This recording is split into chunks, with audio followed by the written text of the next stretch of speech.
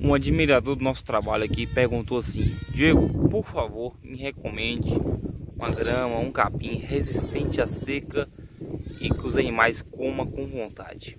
Então, na seca não tinha como mostrar direitinho, deu as primeiras chuvas aqui, então agora chegou o período de eu mostrar para vocês, né?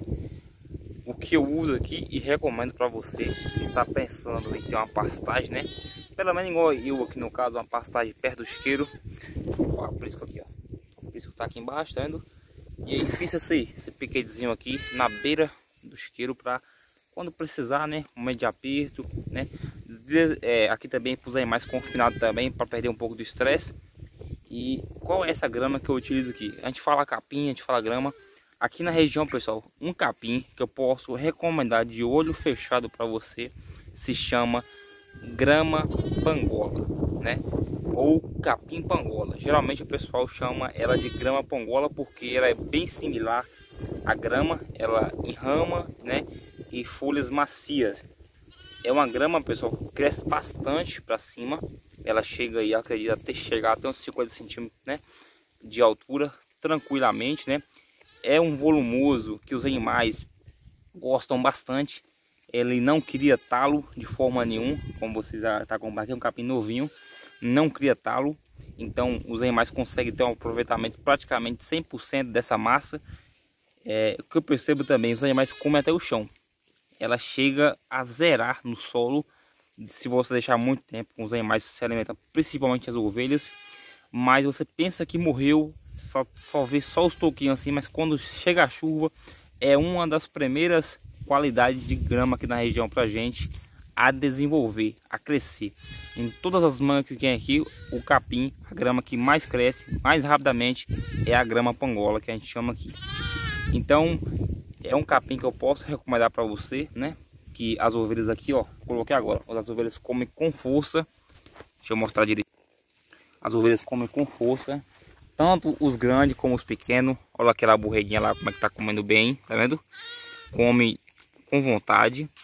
E aqui, ó, folha molinha, molinha, molinha. Você percebe que as ovelhas, ó, não tem dificuldade em se alimentar, né?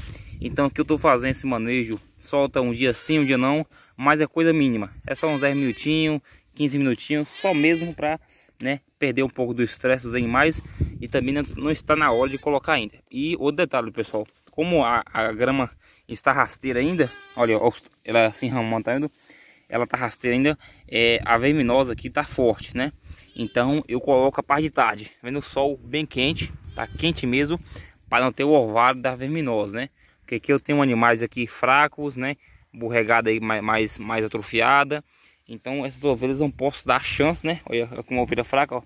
Não pode dar chance, né? Ao azar, a sopa ao azar, né? Então é basicamente isso que eu queria compartilhar com vocês, né?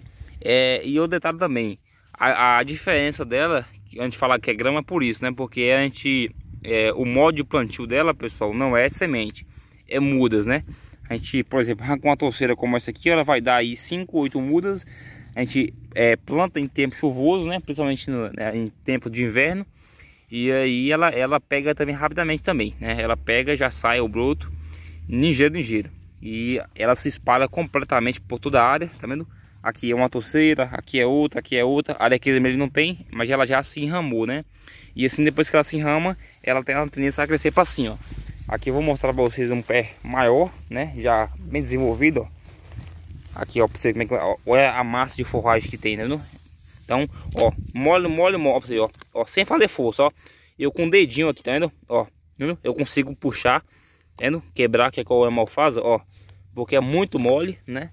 E isso ajuda bastante. Os animais têm uma boa adaptação perfeitamente. E aqui você vê como é que ela, ela é tão boa que ela se enrama para todos os cantos. O piquete está aqui dentro. Olha para de fora aqui, ó. Que é a área da palma, tá vendo? Se você deixar um tempo, né? Ela só vai avançando. Ela vai avançando até na onde que tiver terra para ir. E olha, ó. Os animais se espalham. Perceba para você ver, ó, não tem uma ovelha berrando, ó. Tá vendo aí? Todo mundo comendo, né?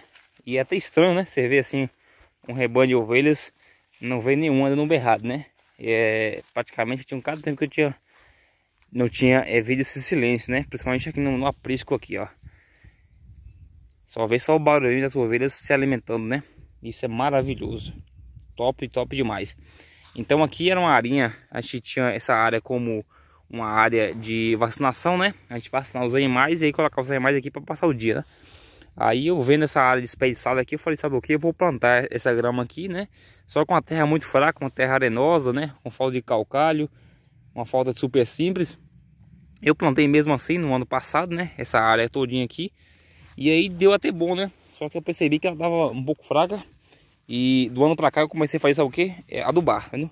Então depois que eu adubei com o próprio adubo das ovelhas, essa área aqui tá toda adubada. É, eu tive uma melhora muito boa, né? Tem hora que você põe um capim uma vez no resultado, principalmente com uma área pequena. Eu adubei, né? E saiu com força, viu?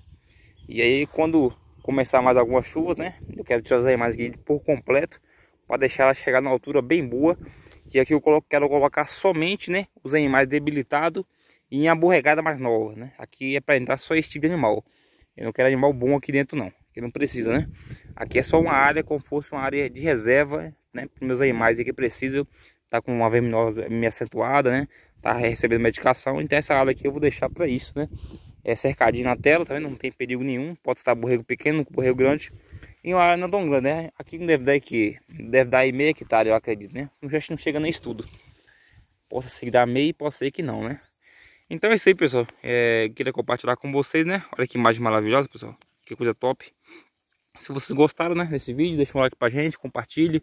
E vá no nosso Instagram. Para quem não nos segue por lá ainda, nós estamos com os vídeos diariamente por lá para vocês, né? Mostrando nosso dia a dia e vídeos que são né, do nosso contexto, como funciona a vinocultura.